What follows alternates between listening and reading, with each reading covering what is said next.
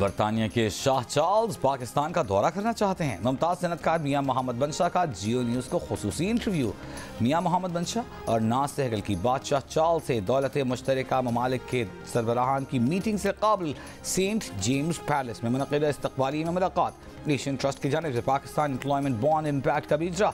मियाँ मोहम्मद बनशाह ने कहा, शाही खानदान के अफराद उन मसाइल से भी आगाह हैं जिनका पाकिस्तान को सामना है।